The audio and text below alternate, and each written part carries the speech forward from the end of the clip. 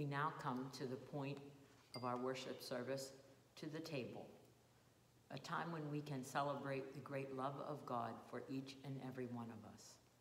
This, then, is one of the most precious times in our Christian lives. And though we are not together in physical person, we are together in the Spirit of the Lord. And so it is in that spirit that we celebrate this meal, together, one with each other and one with Christ.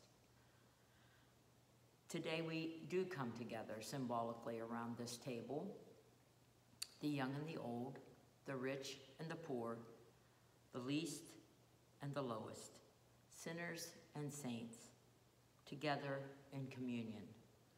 There are no strangers, no foreigners, only brothers and sisters in the sight of God. Each and every one is invited. As we gather together then today, we do so giving thanks. We give thanks because Jesus showed us the way. We give thanks because Jesus is the way. Jesus was a gift from God for the entire world. He was called Emmanuel, God with us. He came to save us from our sins. Jesus lived a life of thankfulness, and he gave his life as a sacrifice for many. We give thanks that he is our Savior, Christ the Lord. And as we gather, we remember. We remember Jesus, both his presence as God with us, and we remember Jesus and his life and his love.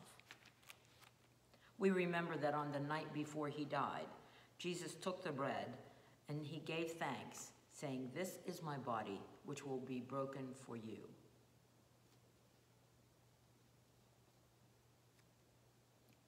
And he shared it with his disciples. We remember that after the meal was over, Jesus took the cup and he gave it to his disciples, saying, This is my blood, which will be shed for you. When you drink of this cup, you will do it in memory of me.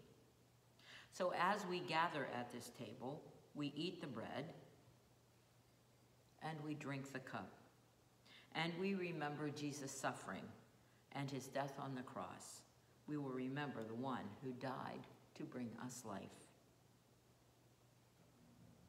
And we will also remember and keep remembering and keep sharing this meal until he returns again. These then are the gifts of God for the people of God. Please take your bread. This is the body of Christ, broken for you and for me. Take of it and eat.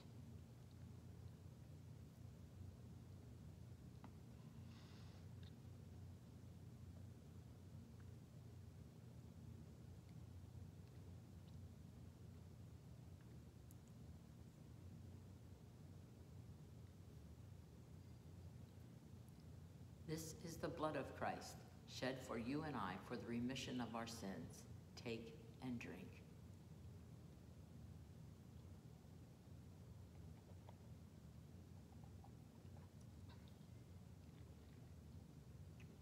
Let us pray.